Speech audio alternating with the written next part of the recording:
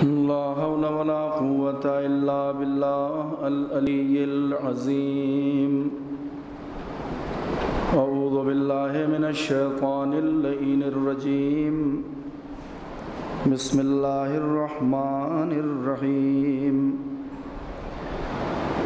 الحمد لله رب العالمين، الصلاة والسلام والتحية والإكرام على البشير النذير السراج المنير الملقب بطه وياسين حبيب إله العالمين أبي القاسم محمد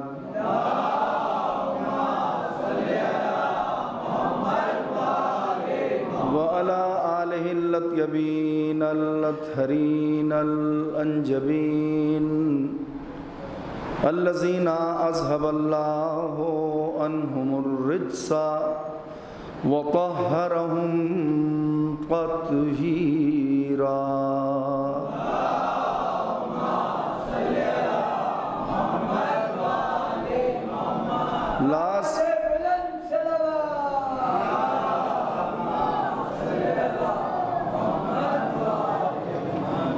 لا سيما على بقية الله الأعظم أرواحنا وأرواح العالمين لتراب مقدم الفداء ولعنة الله على آدائهم وغاصب حقوقهم ومنكر فضائلهم والشاكين فيهم والمنحرفين عنهم مجمعين من الآن إلى قيام يوم الدين أما بعد، فقد قال الله الحكيم في كتابه الكريم بسم الله الرحمن الرحيم يا أيها الذين آمنوا اتقوا الله وكونوا مع الصادقين.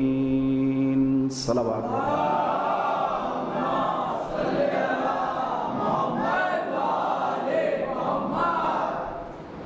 ارباب کرم سامعین،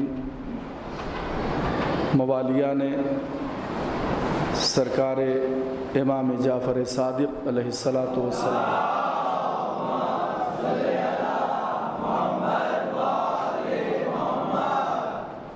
یہ پروگرام جس کا تیسرا سال ہے، ہم سب کے چھٹے امام امام جعفر صادق علیہ السلاۃ والسلام۔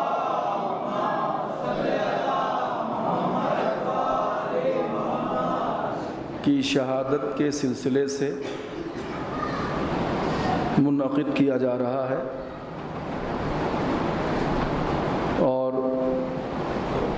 تو یہ چاہیے تھا کہ آپ مجھے بتاتے یہ، مگر میں بتا رہا ہوں۔ آپ کیسے بتاتے اور میں کیوں بتا رہا ہوں، اس کی وجہ ہے۔ اگر کثیر تعداد میں یہاں پہ مجمع موجود ہوتا تو مجھے بتانے کی ضرورت نہ ہوتی۔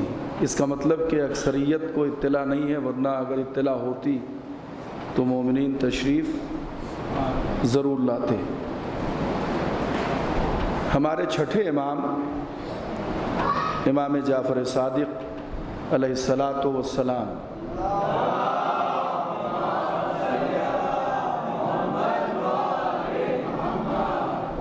کی عظیم ذات کے سلسلے سے تھوڑی دیر گفتگو ہوگی، مگر سب سے پہلے میں ترجمہ کر دوں، ورنہ میں درمیان میں مس کر جاؤں گا۔ ارشاد ہو رہا ہے کہ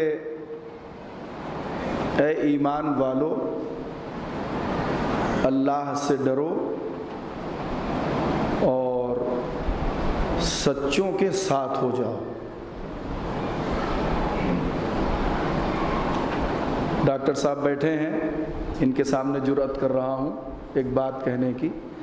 اصل میں اس آیت میں خطاب ہی سب سے نہیں ہے۔ صاحبان ایمان سے ہے۔ اے ایمان والو، اللہ سے ڈرو اور سچوں کے ساتھ ہو جاؤ۔ تو سب سے پہلا نتیجہ جو میں دے رہا ہوں، صرف اس لیے دے رہا ہوں کہ دیکھیں آگے کس قدر میرا بیان طولانی ہوگا۔ سب سے اہم نتیجہ، دیکھیں اس میں ہے، ایمان والوں سے خطاب ہے۔ خطاب کر رہا ہے خالق کائنات۔ یہ خطاب محفوظ ہے۔ قرآن مجید میں بشکل معجزہ اور صاحبان ایمان سے خطاب ہے اور اس آیت میں انہیں صرف دو حکم دیا گیا ہے صاحبان ایمان کو۔ ایک یہ کہ اللہ سے ڈرو اور دوسرے یہ کہ سچوں کے ساتھ ہو جاؤ۔ دیکھیں، کبھی کبھی ہوتا یہ ہے کہ آدمی الٹا بول کے سیدھا سمجھاتا ہے۔ میں اس وقت وہی کر رہا ہوں۔ اس کا مطلب یہ ہے کہ جو صادقین کے ساتھ نہیں ہے، وہ اللہ سے ڈرتا ہی نہیں ہے۔ درود پڑھے محمد اور آل محمد پر۔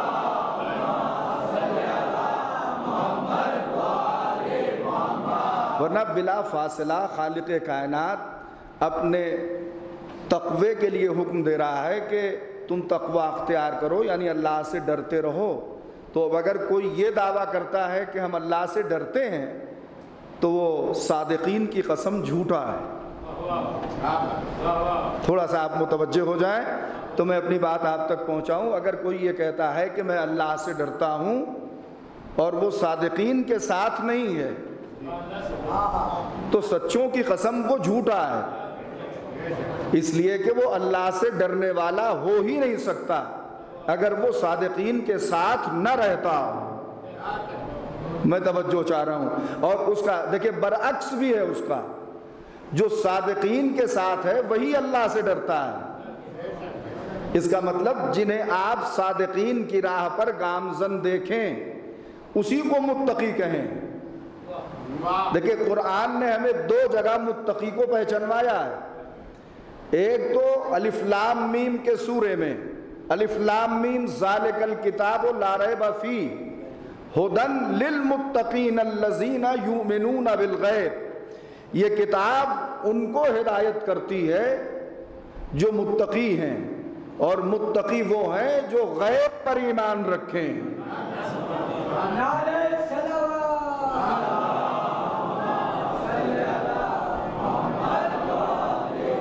دیکھیں، اگر آپ لوگ اجتماعی طور سے خاموش رہیں گے تو مجھے پوری مجلس سلوات سننا پڑے گی۔ ایک سلوات پڑھیے، بلند آواز۔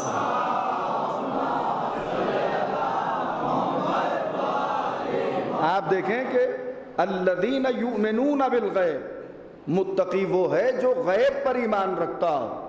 تو آپ متقی کو پہچانتے رہیے، بہت سے لوگ شو کریں گے کہ میں متقی ہوں، میں متقی ہوں، میں متقی ہوں۔ ان کو پہچانتے رہیے۔ تو ایک متقی تو وہ ہے جو غیب پر ایمان رکھے۔ اور ایک متقی وہ ہے جو صادقین کے ساتھ ہو۔ قرآن نے بالکل صاف صاف سمجھا دیا ہے کہ اگر کوئی دعوی تقوی کرتا ہے کہ میرے پاس تقوی ہے، میں متقی ہوں، میں اللہ سے خوف کھاتا ہوں، میں اللہ کا پرہیزگار بندہ ہوں، مجھے اللہ کی بارگاہ میں جانا ہے اور میں اپنے رب سے ڈرتا ہوں، تو آپ بغیر ڈر کے یہ کہہ دیجیے کہ ہم تو متقی اسی کو مانتے ہیں جسے قرآن نے بتایا ہے۔ اور قرآن نے دو جگہ پہ صاف اور واضح طور پہ اشارہ کر دیا ہے۔ پہلے نمبر کا متقی تو وہ ہے جو غیب پر ایمان رکھتا ہو۔ اور دوسری منزل میں متقی اسے کہتے ہیں جو صادقین کے ساتھ ہو۔ اور جو سچوں کے ساتھ نہیں ہے، اسے متقی کہا ہی نہیں جا سکتا۔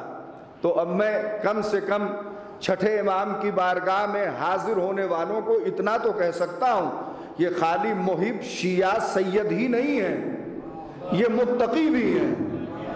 درود پڑھیے محمد اور آل محمد پر۔ دیکھیں، ایک دم صاف سی بات ہے۔ جیسے آپ کہیں کہ مولانا صاحب، آپ کی مجلسیں مجھے اتنی اچھی لگتی ہیں، خدا کرے کہہ دیجیے۔ کہ آپ کی مجلسیں مجھے اتنی اچھی لگتی ہیں کہ میں ہمیشہ آپ کے ساتھ رہوں گا، جبکہ آپ جانتے ہیں کہ ہمیشہ تو خدا کے علاوہ کوئی نہیں رہتا۔ میں توجہ چاہ رہا ہوں۔ اس ہمیشہ کا مطلب یہ ہوتا ہے کہ ہم ہمیشہ آپ کے ساتھ ہیں۔ آپ مر بھی جائیں گے تو آپ ہمیں یاد رہیں گے۔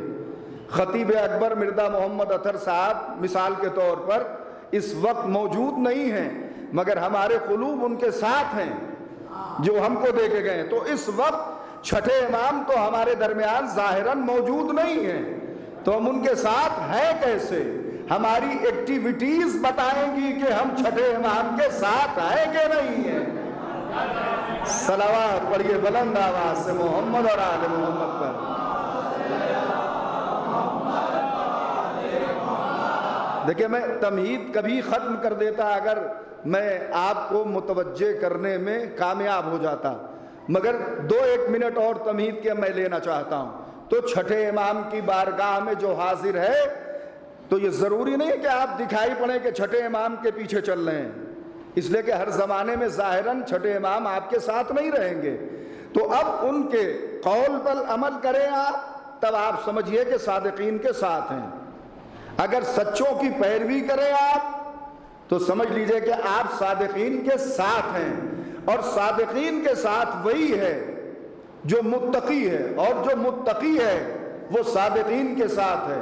اب ہم سے یہ نہ کہیے گا کہ سارے لوگ اہل بیت کے ساتھ کیوں نہیں آ گئے؟ ارے میاں، جو متقی تھے وہ اہل بیت کے ساتھ آ گئے۔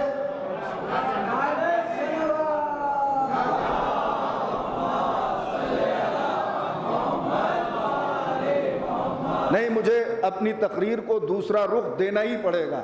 آپ توجہ کریں کہ صادق آل محمد ہمارے ائمہ میں سے جو ہمارے بارہ امام ہیں، ان میں سے ہمارے چھٹے امام ہیں۔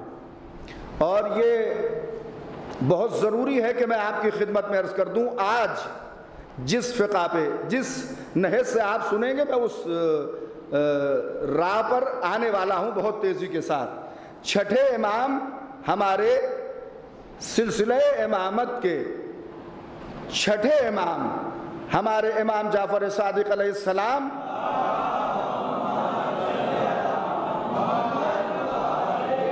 کے لیے میں یہ نہیں کہہ سکتا ہوں کہ چھٹے امام کو ہم زیادہ پہچانتے ہیں اور مانتے ہیں۔ ہم تو اپنے تمام ائمہ کو برابر سے جانتے ہیں، مگر میں نے کل ڈاکٹر صاحب سے بھی ایک فقرہ کہا تھا کہ امیر المؤمنین کے بعد سب سے زیادہ ہمارے مذہب میں اگر کسی ذات کو یاد کیا جاتا ہے، تو وہ ہمارے چھٹے امام ہیں۔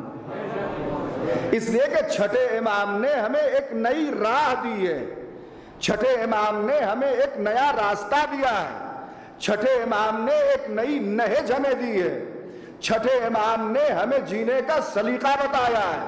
میں قسم کھا کے کہہ سکتا ہوں یوں تو پیغمبر کے زمانے ہی سے کوشش تھی کہ علم کو پوری دنیا میں عام کر دیا جائے، مگر چھٹے امام نے اپنے جد جناب رسول خدا کے ارمانوں کو پروان چڑھایا اور پیغمبر خدا کے دل میں جو آرزو تھی کہ ساری دنیا سے جہالت کو مٹا دیا جائے دیکھیں معاف کیجیے گا، اگر کوئی مذہبی ادارہ قائم کیا جائے تو اس میں کسی دوسرے فرقے کا آدمی آگے نہیں بڑھتا۔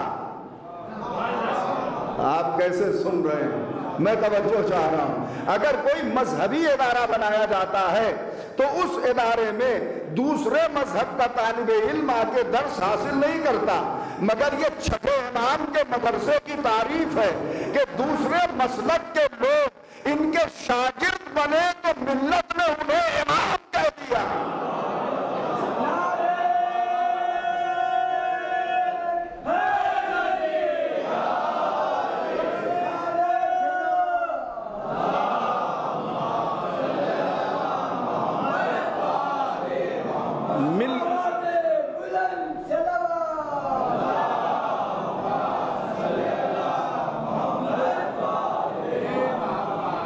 ترین سلوات پڑھیں مل کے محمد اور آل محمد۔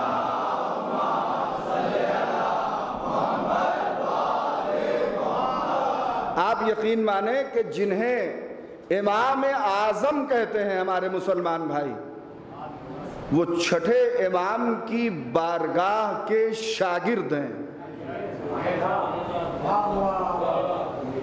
بڑے افسوس کی بات ہے کہ آپ باب العلم میں جا کے کسی طالب علم کے پیچھے کھڑے ہو جائیے اور اس کی اقتدا کرنے لگیے اور وہاں کے کسی معلم کے پیچھے نہ کھڑے ہوں۔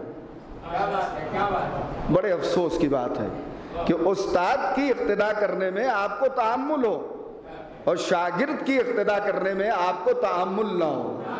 اوروں میں اور ہم میں یہی فرق ہے کہ لوگ شاگردوں کے پیچھے ہیں، ہم استاد کے پیچھے کھڑے ہیں۔ صلوات بر محمد اور آل محمد۔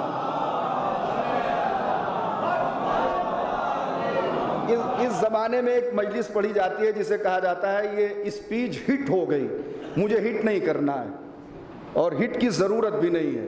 توجہ چاہ رہا ہوں۔ مجھے ہٹ نہیں کرنا ہے مگر ایک بات کہنا ہے، شاگرد کو انہوں نے کہہ دیا یہ امام اعظم ہیں۔ یعنی آپ اس مکتب علم کے بارے میں ذرا سا غور کریں کہ جہاں کا بیٹھنے والا شاگرد ملت میں امام اعظم بن جائے۔ اور طاہر القادری کے بقول کہ لوگ جب امام حسن اور امام حسین کہتے ہیں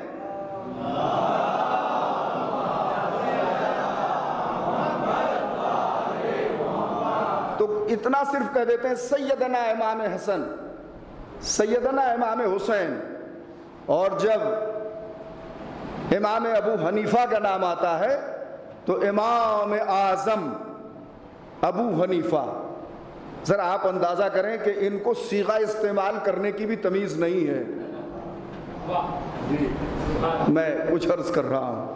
ذرا سا غور فرمائیے۔ اعظم اعظم کسے کہہ رہے ہیں؟ استاد اعظم ہوتا ہے کہ شاگرد۔ وہاں تو صرف امام صادق کہہ کے آگے نکل جاتے ہیں۔ اور شاگرد کو کیا کہتے ہیں؟ امام اعظم۔ اسی فلسفے کی بنیاد پر آپ سمجھ سکتے ہیں کہ ان کے یہاں لقب دینے میں، اور ابھی ایک اسپیچ میں نے رائے میں دی تھی، وہاں میں اسے بھی ذرا سا کوٹ کر رہا ہوں۔ ایک فکرہ کہ اس وقت بھی زمانہ لقب دینے میں بہت ایڈوانس ہو گیا ہے۔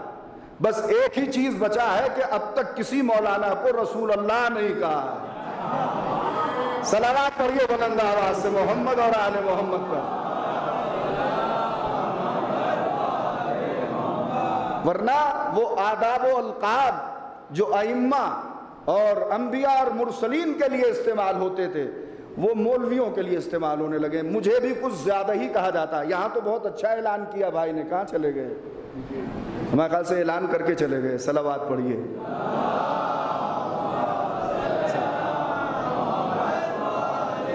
مطلب بہت زیادہ جو میری قدر ہے، آ جائیے سلوات اور پڑھ دیجیے۔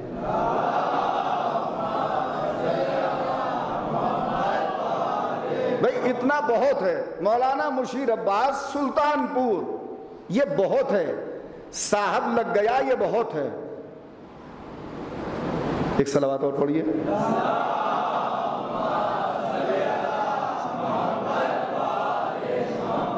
مولانا کہہ دیا گیا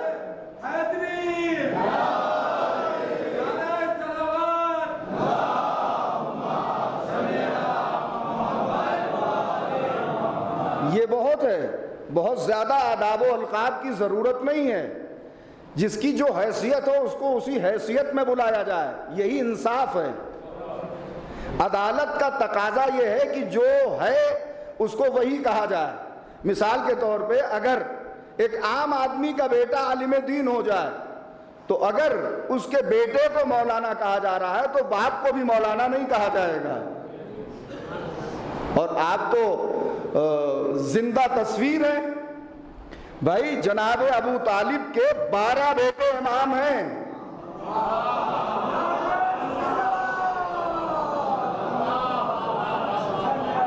نہیں نہیں، بہت آپ لوگ جو ہے متحد ہو کے نہیں سن رہے ہیں۔ جناب ابو طالب کے بارہ بیٹے امام ہیں، مگر ہم نے کبھی سرکار ابو طالب کو امام نہیں کہا۔ اور ضرورت بھی کیا پڑی ہے کہ ہم سرکار ابو طالب کو امام اور رسول کہیں۔ جب خدا نے خود انہیں یہ شرف بخشا ہو کہ جسے پانے وہ رسول بنے اور امام بنے۔ توجہ کر رہے ہیں آپ؟ تو ہم ان سب چیزوں کے قائل نہیں ہیں۔ جناب ابو طالب کی کتنی عظمت ہے بزم رسول سے۔ کتنے لوگ ایسے ہیں جن کی بہت بڑی عظمت ہے۔ اچھے برے لوگ ہر بزم میں ہوتے ہیں۔ میں توجہ چاہ رہا دیکھیں یہ یہ سب اس زمانے میں کہنے لائق اشارے ہیں کہ ہر بز میں اچھے برے لوگ ہوتے ہیں۔ بزم رسالت میں بھی سب اچھے نہیں تھے۔ ورنہ قرآن میں اصحاب النار تو ہوتا ہی نہ۔ میں توجہ چاہ رہا ہوں، اصحاب الجنہ کے علاوہ اصحاب النار نہ ہوتا۔ تو القاب و آداب میں بھی بڑی رعایت کی ضرورت ہے، جو جس لائق ہے، اسے اتنا ہی کہیے۔ اس سے زیادہ کہنے کی ضرورت نہیں ہے۔ وہ اس کی تعریف نہیں ہے، وہ اس کی منقصت ہے۔ میں توجہ چاہ رہا ہوں۔ مثال کے طور پہ اب ہندوستان میں ایک دستور اوج بھی ہو گیا ہے۔ ڈاکٹر صاحب جرأت کر رہا ہوں کہ مجھے حجت الاسلام کہا جاتا ہے، جبکہ میری کوئی علمی بساط نہیں ہے۔ مجھے بھی لوگ حجت الاسلام لکھتے ہیں، میں خود کو کہہ رہا ہوں۔ بوڑھا ہوتے ہوتے اب داڑھی سفید ہوئی ہے، ہاتھ میں ایسا آتے آتے مجھے خطرہ لگ رہا ہے کہ کہیں مجھے آیت اللہ بھی نہ کہہ دیا جائے۔ آپ متوجہ ہیں نا؟ تو اس طرح کی چیزیں سب عام ہیں۔ اور یہ دستور انہی باطل طاقتوں نے قائم کیا ہے کہ جب استاد کا نام لیں گے تو امام صادق کہیں گے۔ میں توجہ چاہ رہا ہوں۔ اور جب شاگرد کا نام لیں گے تو کہیں گے امام اعظم۔ اللہ اکبر۔ جسے اللہ نے امام بنایا، وہ امام صادق۔ جو شاگردی کر کے امام بنا، وہ امام اعظم۔ بنانے میں کچھ لگتا ہے کیا؟ اللہ جس میں جتنی صلاحیت دیکھتا ہے، اس کو اس کے اعتبار سے نوازتا ہے۔ ورنہ ایک لاکھ چوبیس ہزار انبیاء کو سب کو رسول کہہ دیتا، یا سب کو نبی کہہ دیتا۔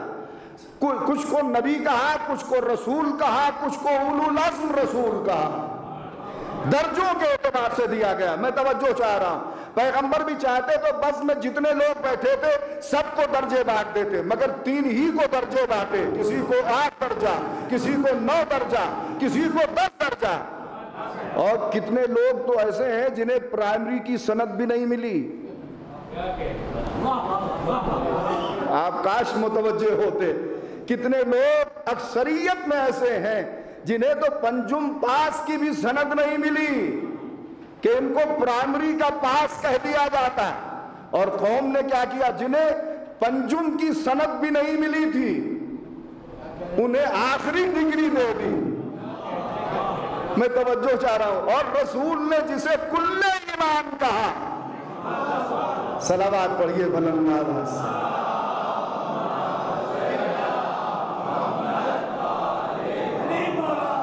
میں زیادہ بہت تفصیل میں نہیں جانا چاہتا ہوں۔ ایک بہت اہم بات ہے جو میں چھٹے امام کے سلسلے سے آپ کی بارگاہ میں لایا ہوں۔ گر قبول افتز عز و شرف۔ اگر یہ قبول ہو گئی چھٹے امام کی بارگاہ میں، تو سمجھیے کہ ہم کامیاب ہیں۔ بہت توجہ کیجیے گا۔ چھٹے امام کو جو دور ملا ہے، وہ ایسا دور ملا ہے کہ بنی امیہ کے بعد بنی عباس اور بنی فاطمہ فاطمہ، یہ ان میں بڑی چپکلش تھی اور یہ آپس میں دست و گریبان تھے۔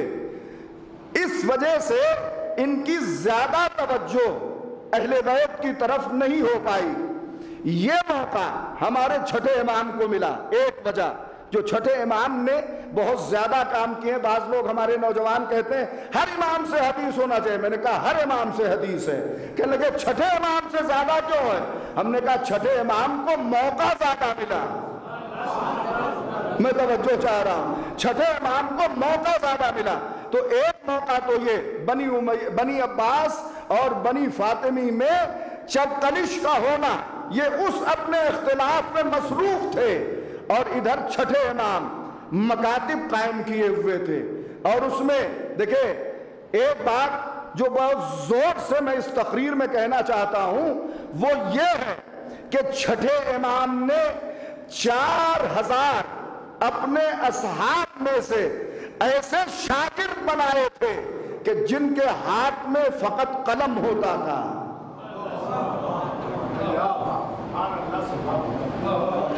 تقریباً تیرہ سو برس پہلے کی بات بتا رہا ہوں میں آپ کو۔ چار ہزار شاگرد۔ یہ زمانہ نہیں تھا کہ بہت بڑی بلڈنگ بنا کے اس میں چار ہزار تو یہ مخصوص اصحاب ہیں۔ اور کتنے شاگرد ہیں امام کے میں؟ کاؤنٹنگ نہیں کر رہا ہوں، مگر چار ہزار اصحاب۔ امام جعفر صادق علیہ السلام کے وہ ہیں جن کو صرف چھٹے امام نے تصنیف کے لیے رکھا تھا۔ یہ لکھیں گے۔ اب ایک فقرہ کہہ رہا ہوں۔ صاحبان علم دعا ضرور دیں گے۔ واہ واہ، میں نہیں چاہتا ہوں۔ صرف آپ کی دعا چاہتا ہوں۔ دیکھیں، یہ چار ہزار اپنے مخصوص اصحاب اور شاگردوں کے ہاتھ میں قلم دے کے یہ بتا دیا کہ دیکھو، جس زمانے میں علماء قلم رکھ دیں آپ میں میں توجہ چاہ رہا ہوں ذرا سا غور فرمائیے گا۔ اس زمانے کو کامیاب دور نہ سمجھنا۔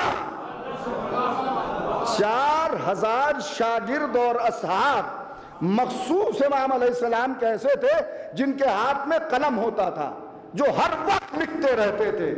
ایک گھنٹے میں چھٹے امام کتنا بتا دیتے تھے کہ جب دوسرا درس آتا تھا تب تک ان کی، ان کا قلم ان کے کرتاس پر روا رہتا تھا۔ آپ متوجہ ہیں؟ میں توجہ چاہ رہا ہوں۔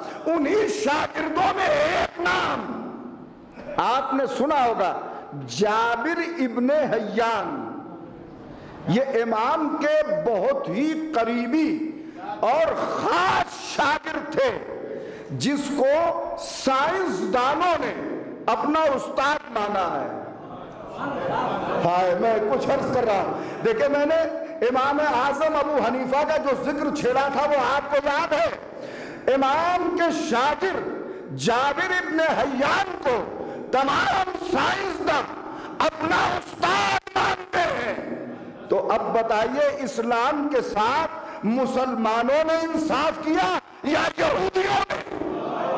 آپ متوجہ نہیں ہو رہے وہ امام جعفر صادق کی بارگاہ کے شاگرد کو امام اعظم کہہ رہے ہیں اور انگریز ان کے شاگرد کو اپنا استاد مان رہا ہے۔ اور جابر ابن حیان سے واسطے کے ساتھ انگریزوں نے سائنس کا علم لے لیا۔ اب اس زمانے پہ وہ حاوی ہو گئے۔ اب ایک فقرہ کہہ رہا ہوں۔ جو چھٹے امام کے شاگرد سے وابستہ ہو جائے، مرنے کے بعد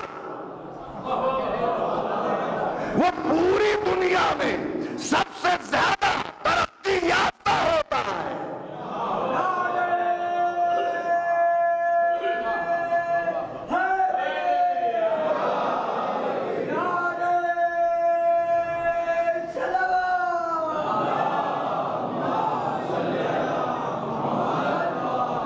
یہاں جو سائنس کے اسٹوڈنٹ بیٹھے ہوں، ان کو میرا خاص پیغام ہے کہ جابر ابن حیان کے مسودوں کو پڑھ لو۔ سائنس کے نسخے اس کے سامنے فنا ہو جائیں گے۔ اس لیے کہ آپ اصل مرکز پہ پہنچ جائیں گے۔ تو انہوں نے چھٹے امام کے شاگرد کو اپنا استاد مان لیا اور اس کے سارے نسخے دھیرے دھیرے پڑھ کے ترقی کر کے یہ پانی کے اندر سفر کرنے لگے۔ سن رہے ہیں آپ؟ سرنگیں بنا کر ایک ملک سے دوسرے ملک تک پہنچ گئے۔ اور سنیے، فضا سما کو عبور کرتے ہوئے انہوں نے چاند کی زمین پر قدم رکھ دیا۔ میں بہت توجہ چاہ رہا ہوں۔ ذرا سا غور فرمائیے گا۔ جسے دنیا چودہ سو برس پہلے موجزہ سمجھتی تھی۔ جابر ابن حیان سے استفادہ کرنے والوں نے اس سفر کو اتنا آسان بنا دیا کہ ہم انتیس کو دیکھتے ہوئے تھک جاتے ہیں۔ مسلمان ہو کر۔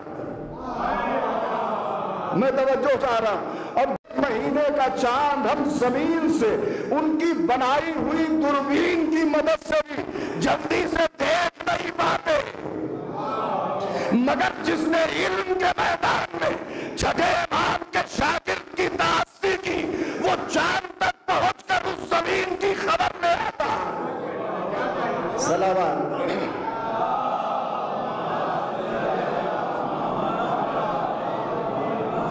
ایک مل کے سڑوات پڑھ دیجیے۔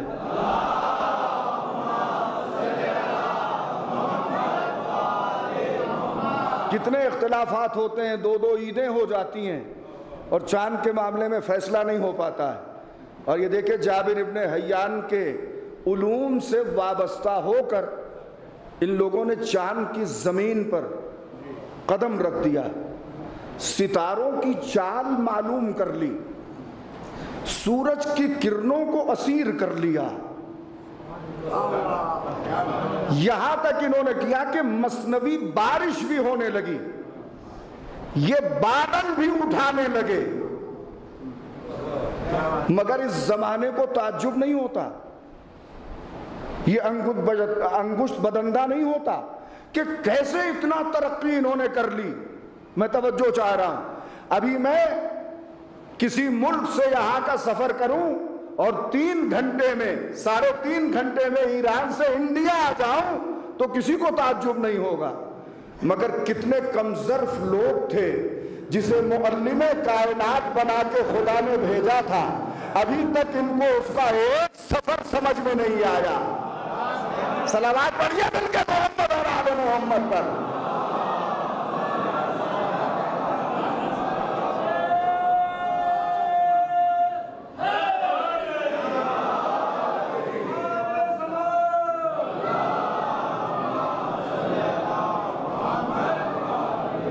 توجہ فرمائیں مان لیجیے میں ایران سے ڈائریکٹ جاوید صاحب کے پروگرام میں شرکت کرنے کے لیے آتا اور ساڑھے تین گھنٹے میں یہاں پہنچ جاتا تو کسی کو تعجب نہ ہوتا۔ اس لیے تعجب کیوں ہوگا؟ اس لیے کہ جان رہے ہیں کہ ہوائی جہاز بن گیا ہے۔ سبھی اس سے ان کے سفر کر رہے ہیں، کسی کو تعجب نہیں ہوتا۔ کیا آپ کہہ سکتے ہیں کہ میری روح آئی ہے وہاں سے؟ میں توجہ چاہ رہا ہوں۔ بھائی سلطان پور سے میں ایک ٹرین سے آیا، ڈاکٹر صاحب کہنے لگے کہ یہ تو بہت تیز، چلی بھائی۔ بہت تیز آیا میں، کچھ گھنٹوں میں، پانچ چھ گھنٹوں میں میں چھ گھنٹے کے اندر سلطان پور سے مراد آباد تک آ گیا۔ تو کسی نے مجھ سے، آپ سے یہ نہیں کہا کہ مشیر عباس صاحب کی روح نوگاما آئی ہے۔ اس لیے کہ جسم تو اتنا تیز، سفر کر ہی نہیں سکتا۔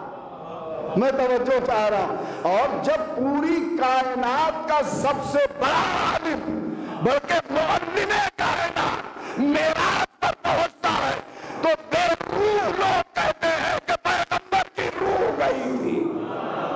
صلوات بر محمد اور آل محمد۔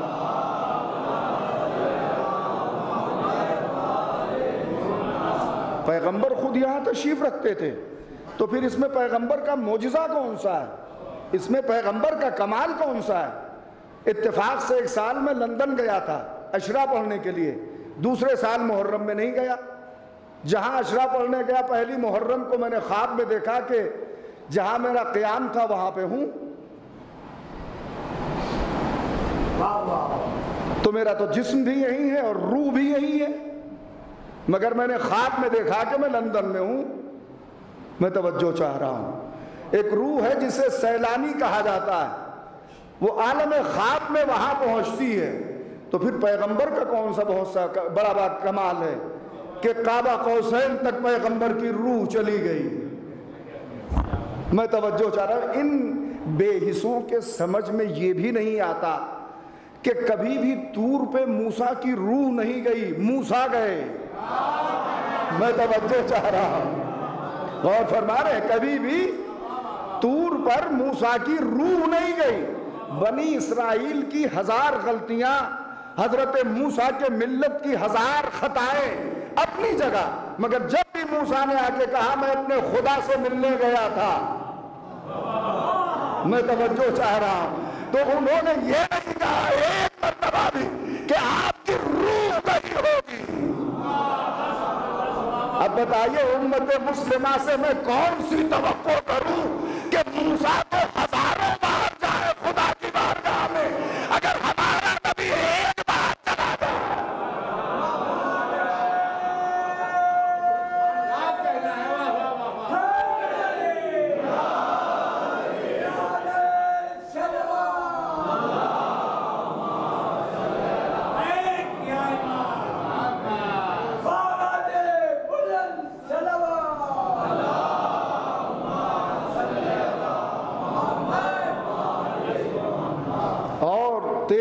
کرنے کے لیے آمادہ رہیے۔ آپ کے پی ایم نے پچھلے ہی سال حکومت بنانے کے بعد کہا تھا کہ ہم بلٹ ٹرین چلانے جا رہے ہیں۔ یہ سب سے تیز رفتار ٹرین ہوگی جو آپ کو بہت جلدی اپنے منزل مقصود تک پہنچا دے گی۔ یہ برق کا کمال ہے۔ یہ نور کا کمال ہے۔ جو آپ کے سفر کو زمین کو سمیٹ دیتی ہے گویا۔ اور سفر پورا ہو جاتا ہے۔ طیل عرض کا واقعہ آپ کو معلوم ہے، اس تفصیل میں مجھے نہیں جانا ہے۔ فقط ایک بات آپ سے کہنا ہے کہ جتنی تیز زمانہ سفر کرے، اتنی ہی تیز آپ یہ سمجھیے کہ آپ کی روح جاتی ہے جسم یہیں رہتا ہے۔ اور میں قسم کھا کے کہتا ہوں، جس کی روح ایک مرتبہ چلی جاتی ہے، واپس نہیں آتی۔ میں توجہ چاہ رہا ہوں۔ نہیں، ایک فقرے کے لیے صاحبان ولا سے میری درخواست ہے۔ جس کی روح ایک مرتبہ جسم سے چلی جائے، واپس نہیں آتی جب تک علی کی ٹھوکر نہ لگے۔ سلامات پڑھ دیں بلند آواز سے، محمد اور آل محمد۔ اور بھی مواقع ہیں، مگر ایک بات ہو گئی۔ میں توجہ چاہ رہا ہوں کہ جس میں روح واپس آئی ہے۔ روح جانے کے بعد واپس واپس نہیں آتی ہے۔ واپس جانے آنے کے لیے روح جاتی ہی نہیں ہے۔ یا تو وہاں پہ کوئی مسلحت ہو۔ جیسے امیر المومنین کا امتحان لیا جا رہا ہو۔ اور کچھ ناقص لوگ امیر المومنین کو دیکھنا چاہتے ہوں کہ دیکھیں یہ بھی جانتے ہیں علی کے نہیں جانتے۔ تو اس وقت خدا بند کریم اپنے قانون کو بدل دے گا۔ اس لیے کہ روح واپس جاتی جانے کے بعد واپس نہیں آتی۔ نہ حضرت آدم کی روح جا کے واپس آئی، نہ حضرت نو کی وہ روح جا کے واپس آئی۔ نہ موسا کلیم اللہ، نہ ابراہیم خلیل اللہ، نہ اسماعیل زبیح اللہ، اور نہ یوسف نبی اللہ، اور نہ اور نہ اور انبیاء۔ جو دنیا سے اٹھ گئے ہیں۔ واقع ایسے ہیں جہاں مردوں کی گواہی بھی مانی جائے گی۔ دیکھیں آپ کو میں یاد دلا رہا ہوں، کچھ یاد ہے آپ کو؟ کبھی ہماری زندگی میں بھی ایسا چانس آ سکتا ہے، جب مردے زندہ ہو کر کسی کے حق ہونے کی گواہی میں۔ اگر آپ نے یہ نہیں سنا تو کچھ نہیں سنا۔ اب میں نئے ذاکرین کے لب و لہجے کو استعمال کروں گا۔ میں توجہ چاہ رہا ہوں۔ ذرا سا غور فرمائیے گا۔ اگر آپ نے یہ نہیں سنا، تو کچھ بھی نہیں سنا۔ خاک نہیں سنی آپ نے۔ جبکہ میں نوگاہے میں مناسب نہیں سمجھتا ہوں۔ اس طرح کے الفاظ کا استعمال کرنا یہاں جائز نہیں سمجھتا ہوں۔ مگر مجبوراً کہہ رہا ہوں، اس کو نہیں سنا تو کچھ نہیں سنا۔ ذرا سا غور کیجیے گا۔ یہ تو علی کے قدموں کا کمال تھا۔ کہ روح جا کے واپس آ گئی اور ایک زہرا کے ہاتھوں کا کمال ہوگا۔ یہودیہ کے گھر میں جب روح جا کے واپس آئے گی اور تیسرا ایک مقام اور سن لیجیے، ایک موقع انشاءاللہ بہت جلد آنے والا ہے۔ جب قبر سے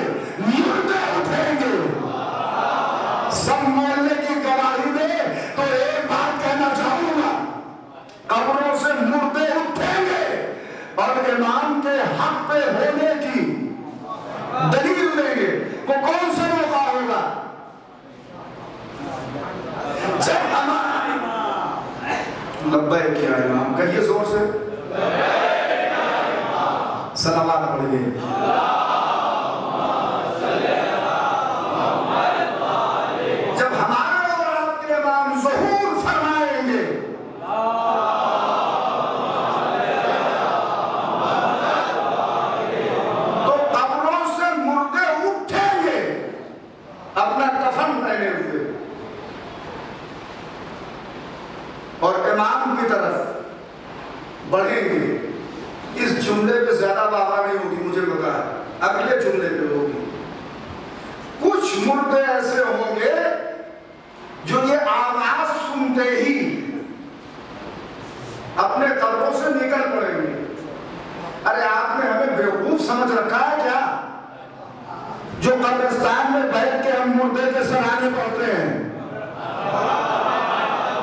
میں توجہ چاہ رہا ہوں؟ جو تنقید ہم پڑھتے ہیں، آپ نے ہمیں بے خوف سمجھ رکھا ہے، کیا؟ آپ سمجھو گے؟ میں آپ کو کہہ رہا ہوں۔ جبکہ میں آپ کو نہیں کہہ رہا ہوں، آپ نے ہمیں بے خوف سمجھ رکھا ہے، جو قبر پہ رہ کے ہم تنقید پڑھتے ہیں، یہاں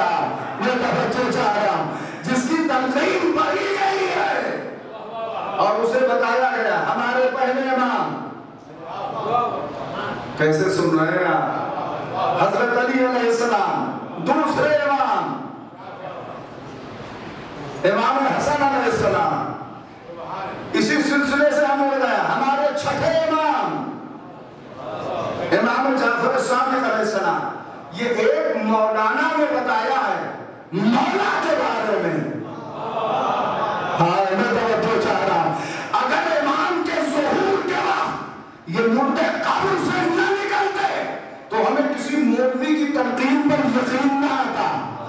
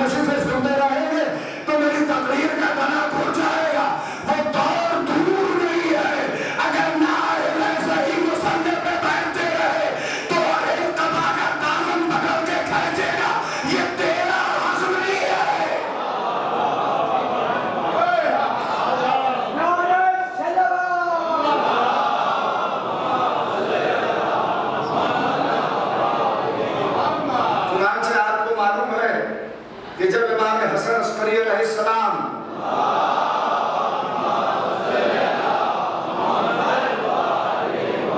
وضاحت میں میں اس فطرے کی وضاحت نہیں کر رہا ہوں جسے آپ سمجھیں اس فطرے پہ جہاں تک آپ کا ذہن گیا ہے، میں اس کی وضاحت نہیں کروں گا۔ ایک واقعہ بہت پہلے، چودہ سو برس پہلے بھی ہو چکا ہے۔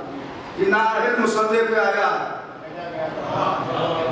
تو اہل نے مسلح سے اسے کھینچا۔ ہے اور آپ جانتے ہیں جسے رسول نے کھینچ کے اتارا ہو؟ اس نے آپ کا کیا فریضہ بنتا ہے؟ جب جعفر مسلح پہ گئے ہیں نماز پڑھانے کے لیے، تو ایک چھوٹا سا بچہ شریعت کدے سے برآمد ہوا اور قبا کا دامن پکڑا، تہذیب کا خیال رکھا۔ رشتہ اپنی جگہ، منصب اپنی جگہ۔ آپ سن رہے ہیں کیا؟ چچا! ہٹیے میں پڑھنے سے یہ میرا حق ہے۔ جعفر نے ہٹ کے بتا دیا کہ اگر بچے میں صلاحیت ہے تو بوڑھے کو پیش نماز نہیں بنایا جائے گا۔ صلوات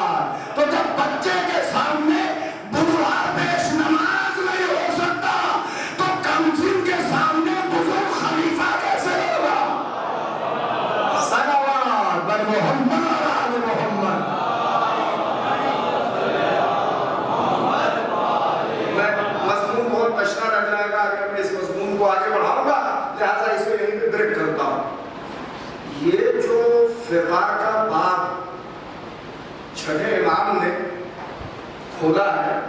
میں یہ بھی نہیں کہہ سکتا ہوں کہ فقہ کا دروازہ چھٹے امام سے پہلے بند تھا۔ اس لیے کہ اس کی تصویر ہمارے سامنے ہے۔ ایک فقہ پڑھوا جی چاہے تو آپ آ کر دیجیے گا۔ من سید ابن علی۔ الى رجل فقیر یہ خط امام وقت۔ حسین ابن علی کی طرف سے۔ کس کی بارگاہ میں؟ رجل فقیر اب آپ سمجھے، اس زمانے میں لوگوں کو یقین آئے نہ آئے، چودہ سو برس پہلے ہمیں یہ پیغام مل چکا ہے کہ فقیر سے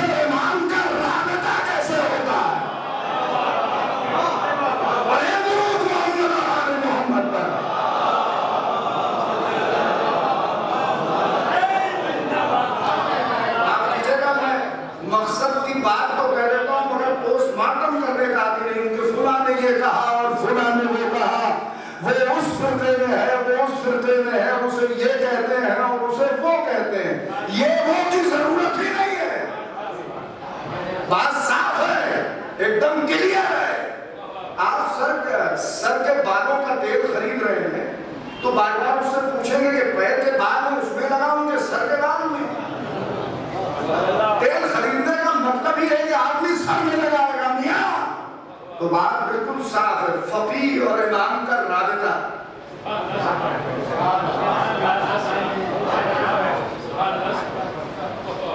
کہ امام کے سوانے کی آخری جنگ بغیر فقیر کے۔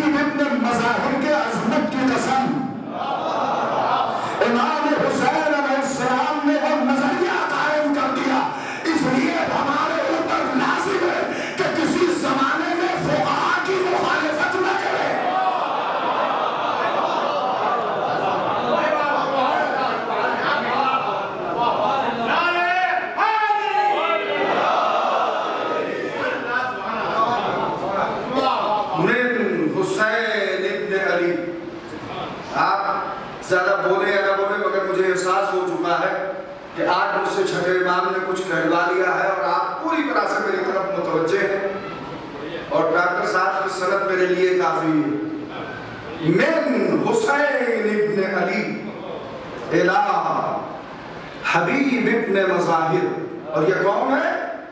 الہ رجل فقی یہ کون ہے رجل فقی ارے میں کیسے کہوں؟ یا تو نبی کی زبان سے امام کو مرد کہتے ہوئے میں نے سنا۔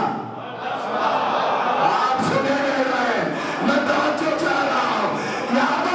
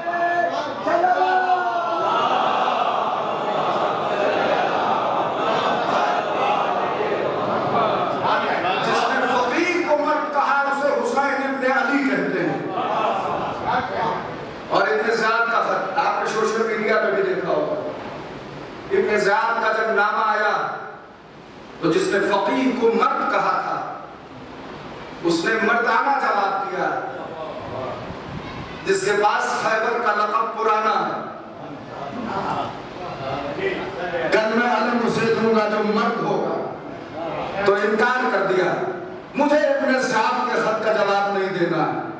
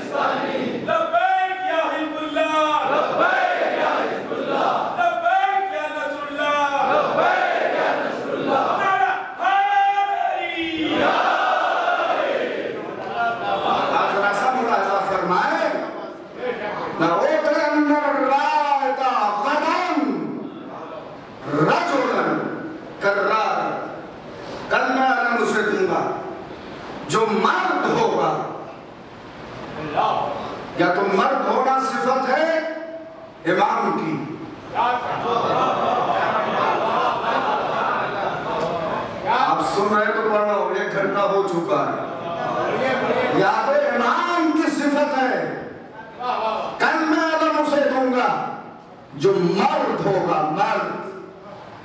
اور مرد کی بات سن کے مردوں کے مجمع میں تو سناٹا نہیں ہونا چاہیے۔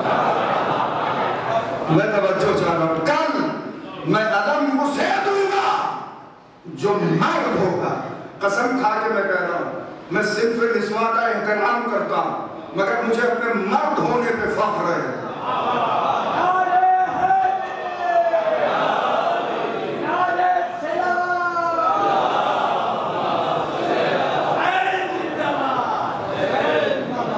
کل میں علم اسے دوں گا جو مرد ہوگا تو یہ علم لے کے جو جا رہا ہے جسے رسول نے کہا کہ کل میں اسے علم دوں گا جو مرد ہوگا یہ کس کے مقابلے میں جا رہا ہے یہودی کے مقابلے میں اور مذہب یہودی ہے یہودیوں کا سربراہ ہے۔ مرد کہاں جائے گا جب یہودیت کا مقابلہ ہو قرآن میں صاف آیت ہے۔ آیت بدایت کے ذہن میں بیان کیا گیا کہ یہود و نصارہ کو اپنا ولی بناؤ۔ آیت صحیح طریقے سے یاد نہیں تھی، اس لیے میں نے پڑھا نہیں۔ اور یہ ہماری ذمہ داری ہے کہ آیت پڑھیں تو صحیح نہیں تو ترجمہ کر کے اتر آئے ہمیں اس بات کا خمار نہیں ہے کہ اپنی عالمانہ حیثیت کو آپ پر غالب کروں۔ ٹھیک ہے، مجھے بھول گیا۔ نہیں آگے صحیح طریقے سے۔ ولی نہ بنانا نہ نصارہ کو اپنا ولی بنانا اور نہ یہودیوں کو اپنا ولی بنانا۔ میں توجہ چاہ رہا ہوں۔ وہ فرقہ جو ولیوں کے خلاف بھی ہو چکا تھا۔ اب اس سے بڑا اشارہ میرے پاس نہیں ہے۔ اور نو معاملے میں میں پوسٹ مارٹم والی مجلس پڑھوں یہ مجھ سے نہیں ہو سکتا۔ میں توجہ چاہ رہا ہوں۔ جو ولیوں کا بھی خلاف ہے، مسلمانوں کے بہت سے ولی ہیں۔ کتنے ولی تو ہندوستان میں ہیں۔ خواجہ غریب نواز غازی میاں وغیرہ وغیرہ اور بہت سے اولیاء جہاں دیکھو ولی، ایک فرقہ مسلمانوں میں پیدا ہوا جو کسی کو ولی نہیں مانتا۔ نہ قبروں میں، نہ قبروں کے باہر۔ مگر میں نے دیکھا کہ اسی نے کبھی اوباما اوباما کو ولی مانا، کبھی بش کو ولی مانا۔ اور میں عدد کے حساب سے نام بھی لے رہا ہوں۔ میں توجہ چاہتا ہوں۔ کبھی بش کو ولی مانا، کبھی اوباما کو ولی مانا۔ اور اب ٹرمپ، جس کا نام لیتے ہوئے بھی زبان شرماتی ہے۔ ٹرمپ کو ولی مان گئے جو وہ کہیں گے، آقا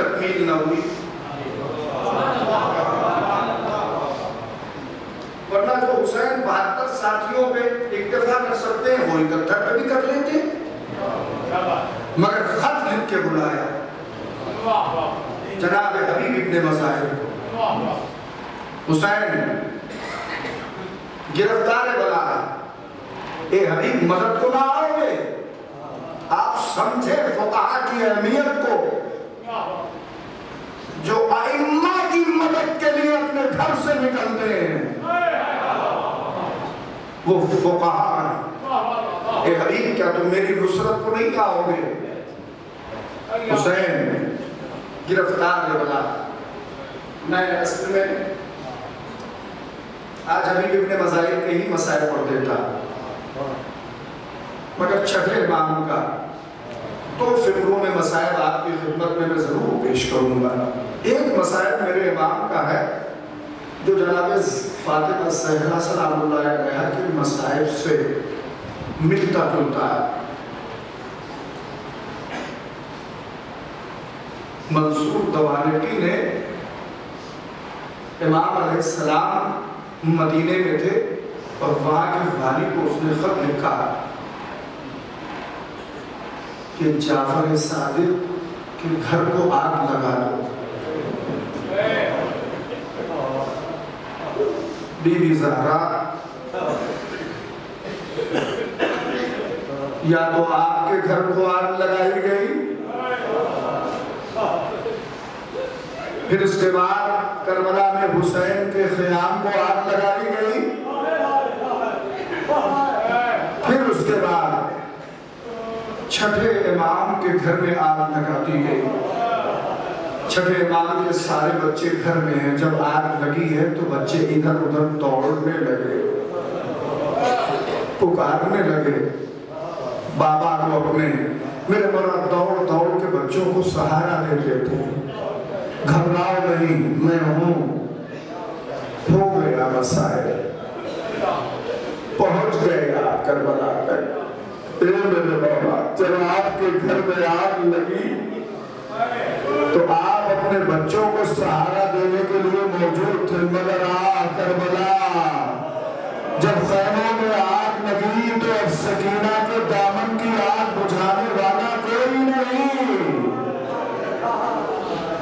اور منصور کا فرمان تھا کہ چھٹے امام کے گھر میں آگ لگا دو اور اہل خانہ کو جلا کر خاک کر دو۔ اصحاب امام جعفر صادق علیہ السلام آگے بڑھے اور انہوں نے چھٹے امام کے گھر کی آگ کو بجھانا چاہا، مگر آگ بجھنے کا نام نہیں لے رہی۔ تھی یہ زمانہ نہیں تھا، اتنا وافر مقدار میں پانی نہیں تھا۔ کہ آسانی سے آگ بجھا دی جاتی، تو آپ کو معلوم ہے؟ جناب امام جعفر صادق علیہ السلام آگے بڑھے اور آگ کو خطاب کیا۔ تجھے پتا نہیں؟ ہم ابراہیم خلیل کے فرزند ہیں۔ جن کے لیے آگ سر ہو رہی تھی۔ اپنے ابا کی دامن سے ہوا دیتے جاتے تھے۔ اور آگ بجھتی جاتی تھی اپنے بچوں کو سلامتی کے ساتھ۔ اپنے گھر سے باہر نکال لیا۔ مولا، آپ کے ہاتھ آزاد تھے۔ آپ نے اپنے بچوں کو بچا دیا ایک امام کربلا میں ہے۔ سلام شہزادی زینب پہنچتی ہے۔ شالہ لاتی ہے۔ سید سجاد کب تک سو گے بیٹا؟ خیمے جلا لیے گئے۔ اب آخری خیمہ بچا رہا ہے۔ کیا حکم ہے امام اللہ ہم اس میں جنگ کے جان دے دیں یا بڑا سر خیمے سے نکل جائیں۔ امام نے فرمایا علیکم اے بڑی اماں آپ لوگ خیموں سے باہر نکل جائیے۔ جان کا بچانا واجب ہے۔ وہ بھی ایک منظر تھا۔ چھٹے امام کے اہل حرم جب گھر سے نکلے ہیں تو ان کے سروں پہ ردا تھی۔ مگر آپ کربلا میں جب بی بیا آخری خیمے سے باہر نکلی ہے تو ان کے سروں پہ ردا نہیں تھی۔ پروردگار آپ کو کسی غم میں نہ رلائے میں شہادت کا ایک لفظ بھی نہیں کروں گا۔ اس لیے کہ آخری مجلس میں شہادت پہ ہو جائے گی۔ ایک منصوب اور ملازہ فرما لیجیے۔ اگر کربلا والوں کے لاشوں پہ گھوڑے دوڑائے گئے ہیں، تو چھٹے امام کی قبر اطہر کو منہدم کیا گیا۔ گنبد بنے ہوئے خدا کی نصر ان قبروں پر۔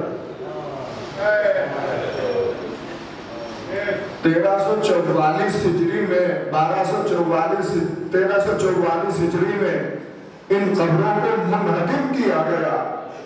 ان روزوں کو توڑ دیا گیا۔ آج آپ جنت البقی جائیں گے تو ویرانہ دیکھیں گے۔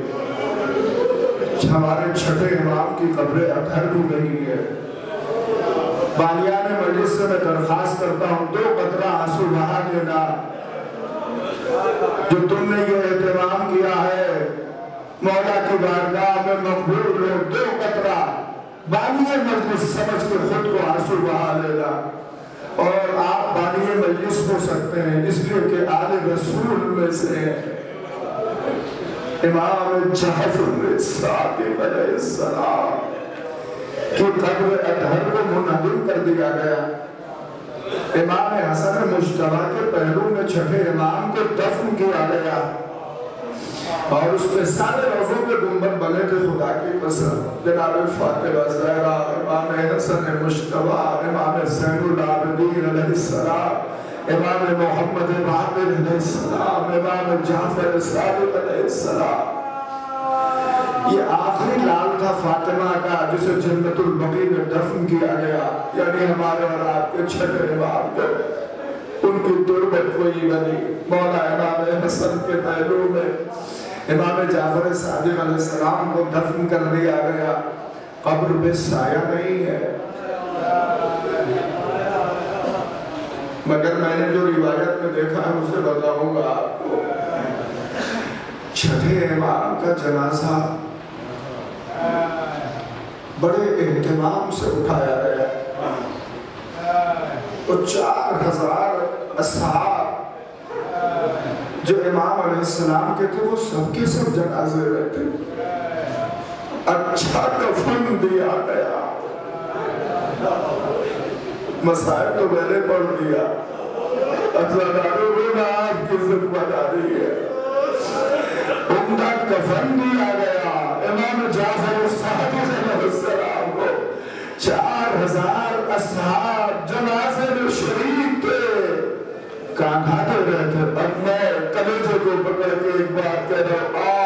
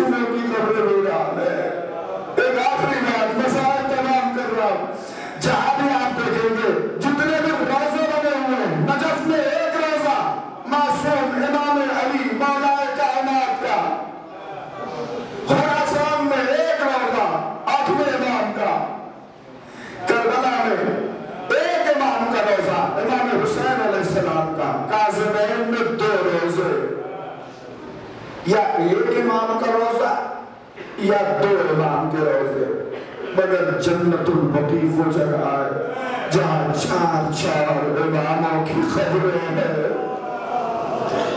عزیز میں نے یہ شہادت نہیں ملی ہے ایک ہمارے دل ہمارے دل تاثر ہے چار اماموں کی قبریں ویران ہے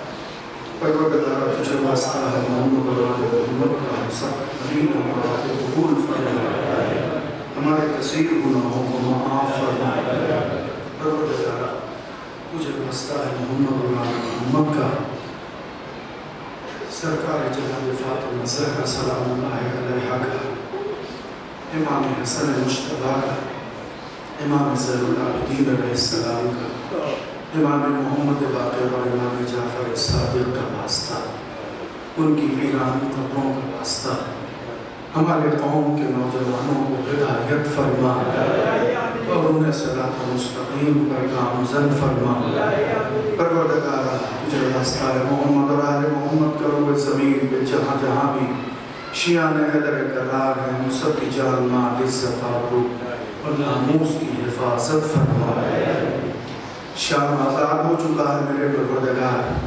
یہ ظالم اسے بھی جنت البقی کی دوسری تصویر بنانا چاہتے ہیں۔ پروردگارہ حزب اللہ کو توفیق عطا فرما تاکہ دونوں شہزادیوں کے روزے محفوظ رہ سکیں۔ اور دوسرا جنت البقی دیکھنے کی پروردگار ہمیں تاب و طاقت نہیں ہے۔ بار الہ روئے زمین پہ جہاں جہاں بھی شیعان حیدر ہیں، ان سب کی جان مال، عزت، آبرو اور ناموس کی حفاظت فرما۔ پروردگارہ اس نوجوان نے جو یہ چھٹے امام کے سلسلے سے مجالس کا انعقاد کیا ہے، ان کی روزی میں برکت عطا فرما۔ انہیں صحت عطا تاکہ اس پروگرام کو جاری اور ساری رکھ سکیں۔ پروردگارہ، ہمارے امام کے ظہور میں تاجیل فرما اور ہم سب کو ان کے عوام اور میں شمار فرما ربنا تقبل منا انك انت السميع العليم وجعل